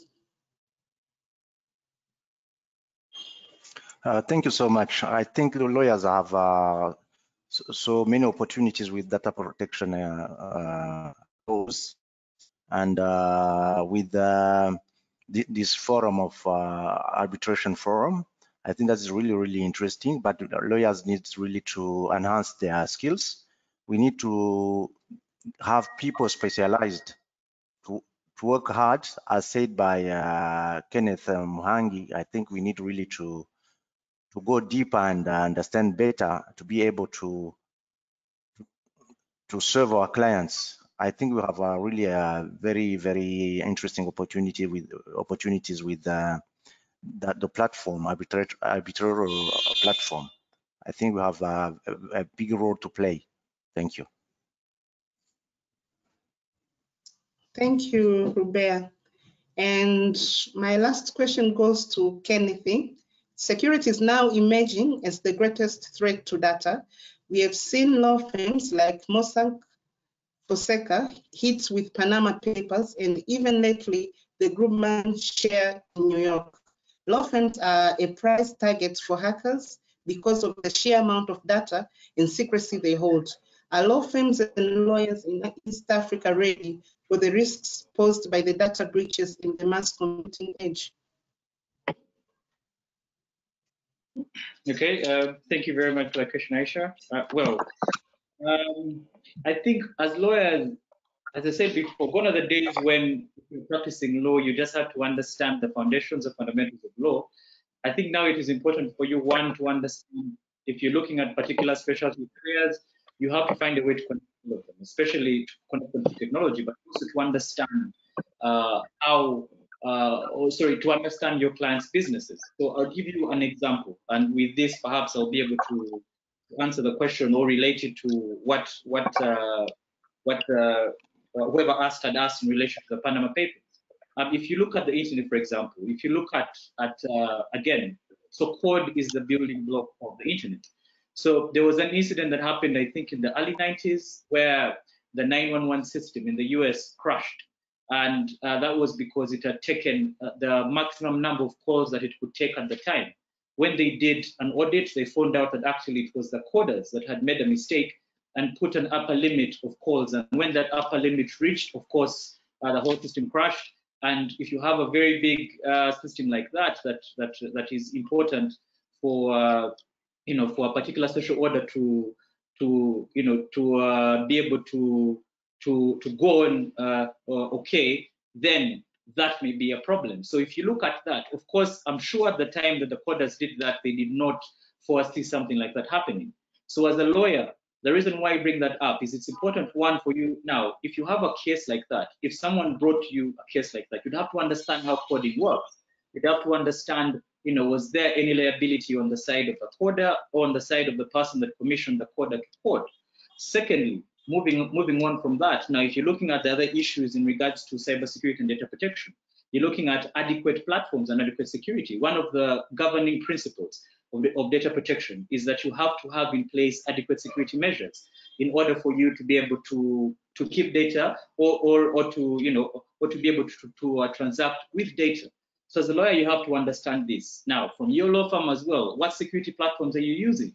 You have platforms that uh, can easily be hacked. You know, if you compare them to what other firms are using, would they stand the test of time?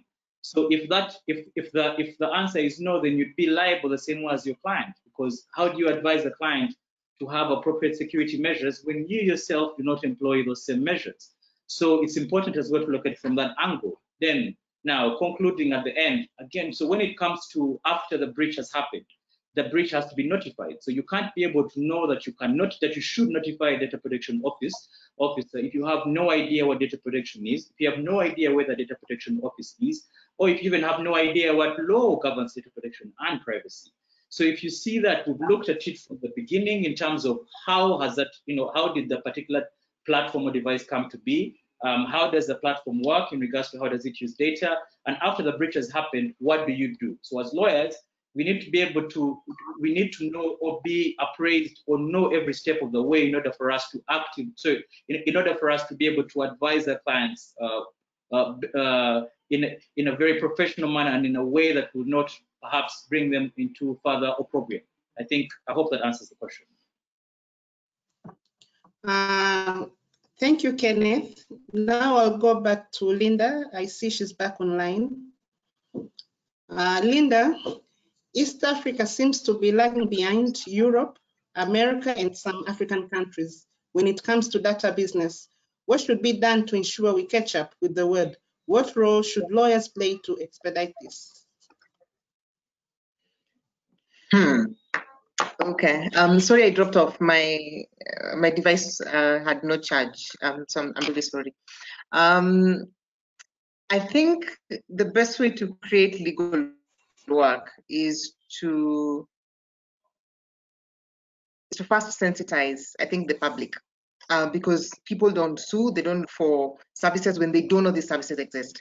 And so I think um, one of the things that uh, we could do as lawyers, and um, this also refers to people in maybe civil society and um, those who are using um, tech platforms to offer legal services, I think it's important that we train uh, public, the public, we train HR managers, um, companies, for them to know what is data protection. That would be the first sort of uh, angle to get business uh, in the area of capacity building. Um, and I'd, I'd, say this uh, in my experience, especially the lawyers have, anytime we convene a discussion around a technology issue, we have people coming up and saying, you know, this is our problem. We also have a similar issue. You know, what do we do? And so they realize that um, they actually are sick and they need a doctor. And I think that will be a good way for lawyers to begin, especially in East Africa. Um, two, um, we need more public interest litigation.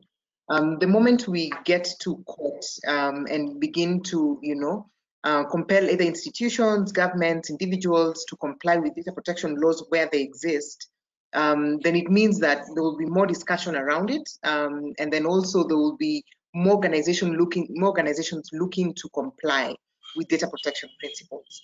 Um, the demand right now um, around data protection issues is basically from foreign organizations and those who are doing immigration law, for example, now uh, trying to help their clients to comply with local laws, but then also to comply with their mother countries on what they need around data protection. So I think the second thing would be to, um, you know, start caring for the public and going to courts to ensure that their rights to privacy are respected.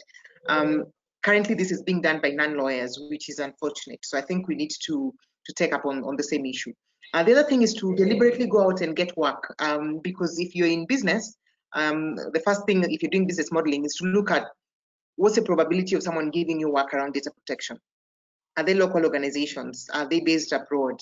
Um, where do they go for trade expos, for example? Are they from Europe? Um, is it a company in California? And if you map out exactly where is the epicenter of data protection issues and privacy, it's California in the US, and then you have um, the EU and Brussels is the home of, you know, um, all this legislation. So I think as lawyers um, in business development, we need to look at who are these particular people. Can we bring the work back home? Um, and then hope that, you know, we, we grow our businesses that way. So that's what I would do for me. Thanks. Thank you, Linda. So for round two of our Q&A, I'll go through the audience question uh, directed to the panel. So do you think that with the generalized nature of most legislation, businesses should go beyond compliance approach towards the risk-based approach to enhance data protection? This is a question from Juanita addressed to our panel.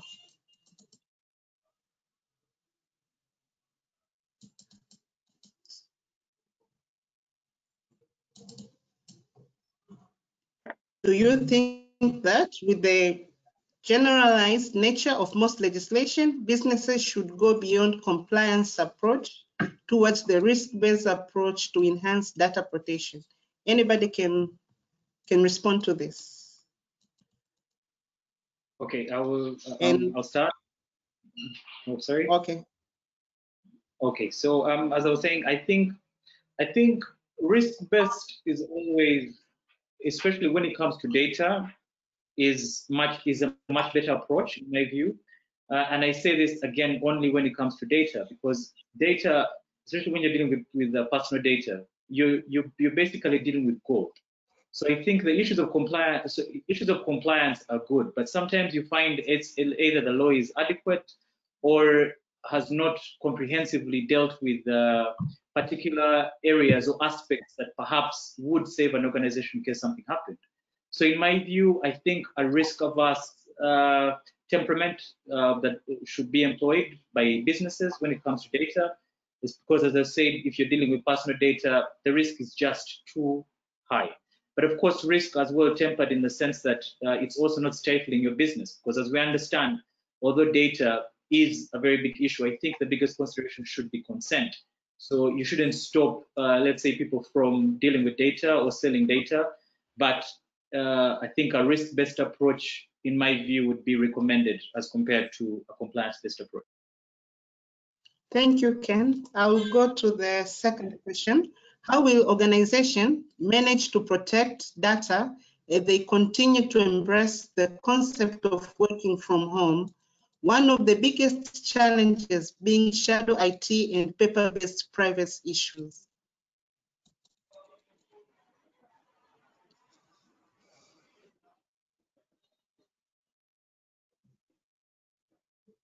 Um, I, I think How will organizations? Yes, Hmm? just Come again? okay. How will organizations manage to protect data as they continue to embrace the concept of working from home? One of the biggest challenges being shadow IT and paper-based privacy issues.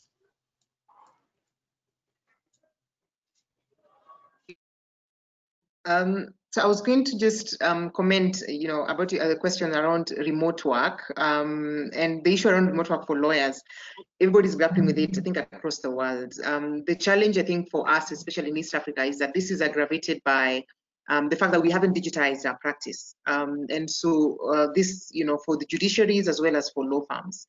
And so we have to walk around with many files and a suitcase to show that you, you are a lawyer for a very long time. Um, and so as people are working from home, I think one of the principles that you, you need to do, especially as a firm, is to first figure out what are the technologies that you, you need to use that would ensure that that sort of replaces the real life sort of interaction. Um, and we have several, you know, products in the market that, that could help in that particular case.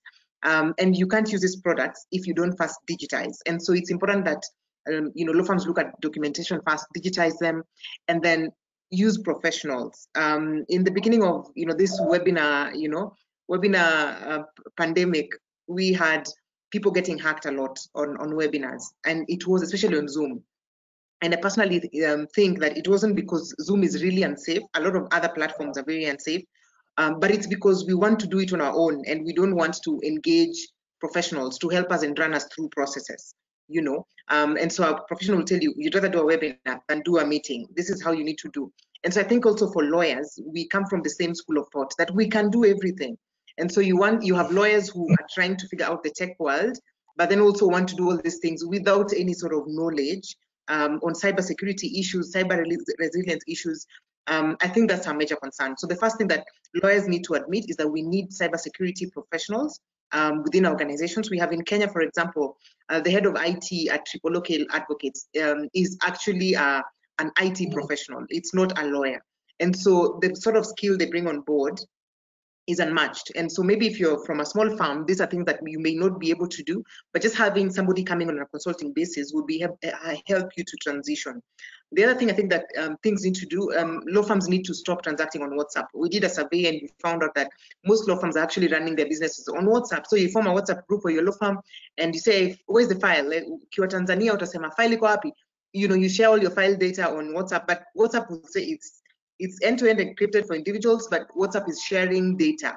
Uh, and now we know what what's happening across um, you know Facebook owned products. Um, if you're posting an update, you're told, do you want to post this on Facebook too and Instagram?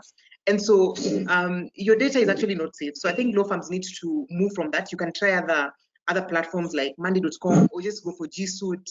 Um, you know platforms that you know who exactly is handling your data and what you need to do um, when when there's a breach in that particular case. Uh, the final thing I'd want to say is I think for a, a breach, as Ken had mentioned, it's not it's just one person. You're um, as weak as your your employee. If it's one particular person who you know um, shares their um, their laptop. We realized even at some organizations, people are watching movies. You give them a laptop, and they are downloading torrents, and those are the stuff that hackers will use to access um, you know, your information. So law firms must also have, and lawyers generally must have um, internal policies on what you do on your work laptop, how you handle it, what sites you access, um, and then also to just have, you know, virtual private networks that ensure VPNs that ensure that, you know, um, you're not compromised um, online. And that's what I'd say. Thank you, Linda. We have another question from Judith Zebedayo the absence of data protection law in this cyber era, how can you enforce the data breach that is stored in the, in the cloud?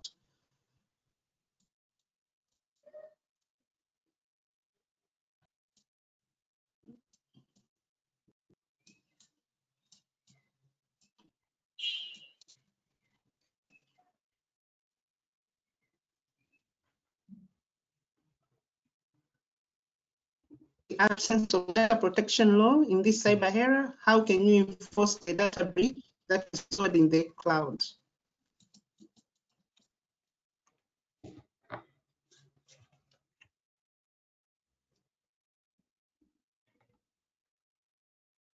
Um, hi, uh, is the question to a particular panelist? No, no, no. So anybody can respond.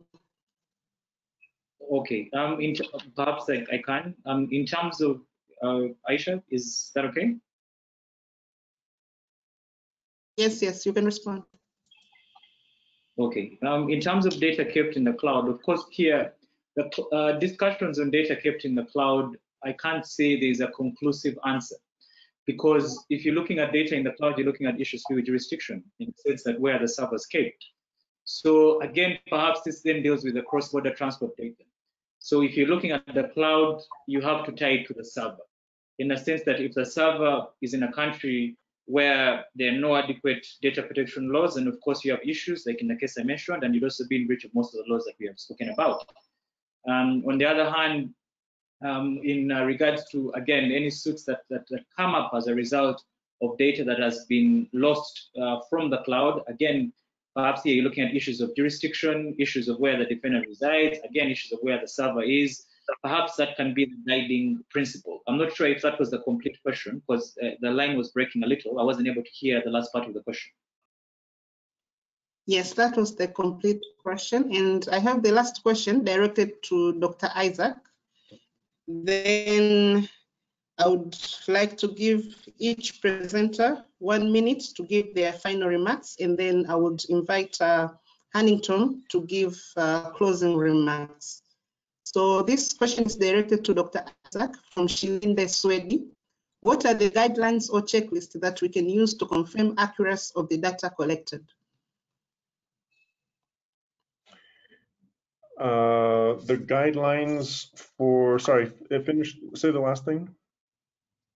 What are the guidelines or checklists that we can use to confirm accuracy of the data collected? Hmm. um, well, uh, I, I, guess I can interpret that, that question two ways. Accuracy of the data collection um, is uh, if you're if you're referring to accuracy of the data itself, uh, that's something that is on the data collector to to confirm, and that's um, you know that's that's through best practices of data collection. If if you were referring to checklists of of um, of complying with the Data Protection Act or whatever act is in place in your jurisdiction, um, apart from going through the entire act, uh, there uh, there really isn't something right now. Uh, I can tell you that we are preparing something, but we haven't yet released it. So um, there there will there would be at some point, but but at the moment um, there's nothing like that as far as I'm aware of that some of the other panelists might know. Um, if I may uh, just address one thing that was uh, in the last few questions, um, I think that uh, I, think that what we, we don't do right now is value our security, our IT security people. I think we do that in two ways. First of all, we assume anyone with an IT degree is an expert in cybersecurity, and they're not. Uh, IT is a very big field, and just like law is a big field, and you can be an expert in one area of law, but not others. Um, we, I, I, urge anyone with uh, data, uh, valuable data, and computer systems, which of course is all of us now, uh, to to hire people who who actually have experience and knowledge of of IT cybersecurity specifically. And if you if you don't do that, you you know, uh, good luck to you when you go to your client and say, well, I hired an IT guy, but uh, we still got hacked and uh, we lost all of our data or we had to pay or whatever. Um, and the last thing on that issue is uh, these are these are really serious problems in some industries specifically. Right now, I'm, i like to keep up with the news in the U.S. and right now, one of the biggest problems for hospitals is uh, cyber hackers going in and um, uh, stealing, essentially stealing all of, uh, and holding hostage the data from a hospital. So you you go in, you you you gain access to all the data, you you encrypt it, and then say to the hospital, "We'll give you the encryption key if you pay us this amount of money." And these are really sensitive and important medical records. So the hospital can't say no; they have to pay. Uh, and that and that is uh, an incredibly common thing now. So I think that we are on, it's only a matter of time before similar things like that happen uh, if we don't pay attention to our cybersecurity teams. Um, that was um, yeah. So thanks for that opportunity. Uh, thank you, Doctor. So now I would like to give one minute to each presenter to give their final remarks. I can start with uh, Linda.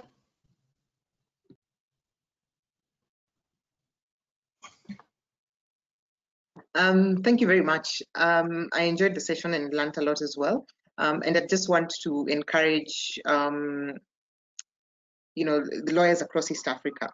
Um, someone once said that to predict the future, you have to create it. Um, and so it will be important for us to you know, create new ways and um, try to annoy people on certain areas around data protection and see what how they react and how they bring business to you or uh, to your you know to your ecosystem.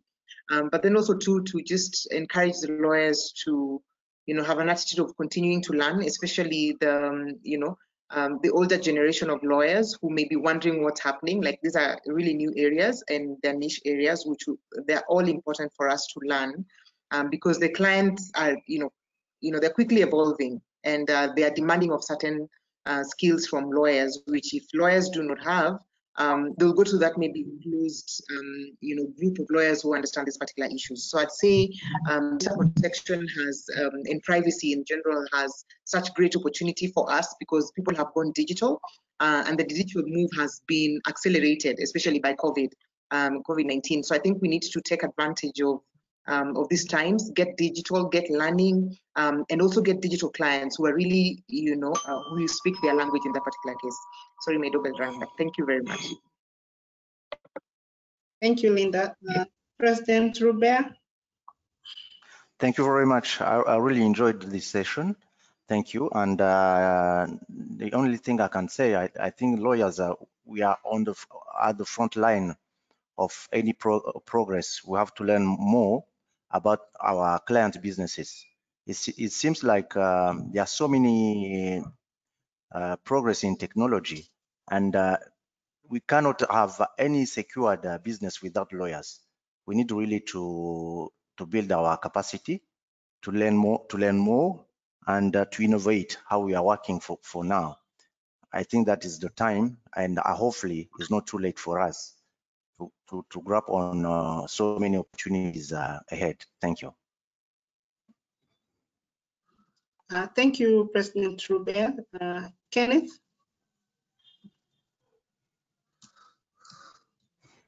Yes, thank you. I just want to just want to say thank you uh, to you and to the organizers and to the panelists as well. I so really enjoyed the session. So thank you, really. Thank you, Linda. Thank you, Doctor.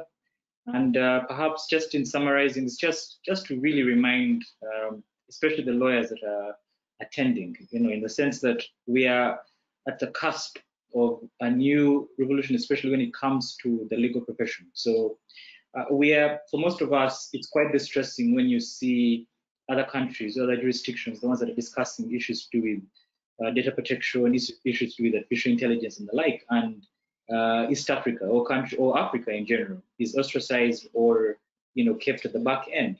But I think for most of that is also our undoing in the sense that we don't want to write, we don't want to contribute towards uh, discussions that you know that will push the legal profession, that will push our jurisdictions. So it's just really just a, a call to to arms, so to speak, for for for lawyers and for legal practitioners to take the 4IR seriously, to equip themselves with the skills, and most importantly, for us to be the ones to push and advocate for our governments to make these issues uh, at the forefront of policy and of discussion. Thank you. Thank you, Ken. Uh, Dr. Isaac? Uh, also wish to uh, thank you, the organizers, and to my fellow panelists for a very good discussion. Uh, and then conclude with this. Um, law is a funny thing, uh, and it's it's amazing that we even have to encourage people to go into ICT law um, you know, all of my students are, are uh, I, I get to see all of the students at Strathmore Law for fourth year for ICT law.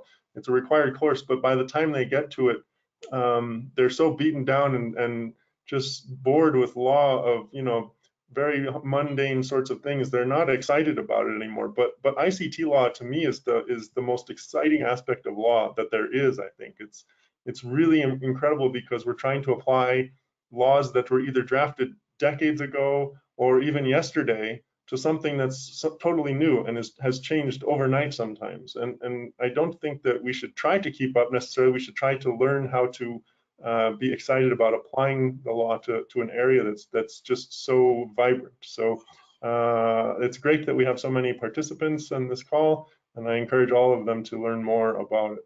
Thank you. Thank you so much, Doctor. Now back to you, Hannington, for the closing remarks.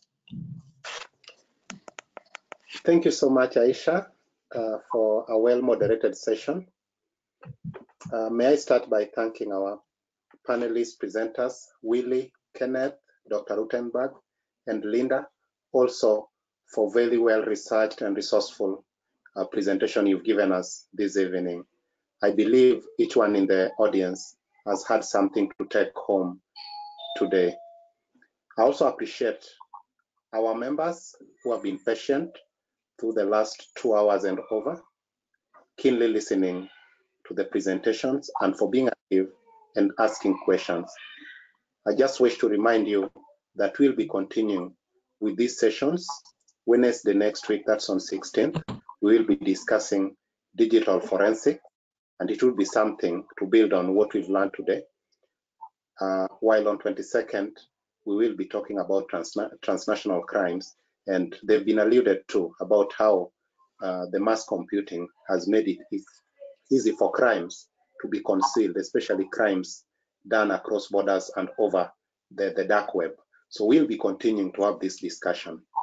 May I also take this opportunity to thank our sponsors and partners, Attorney General's Africa, for being patient, for being resourceful, and continuing to trust us as a vehicle that should be able to deliver, you know, capacity building in East Africa and beyond.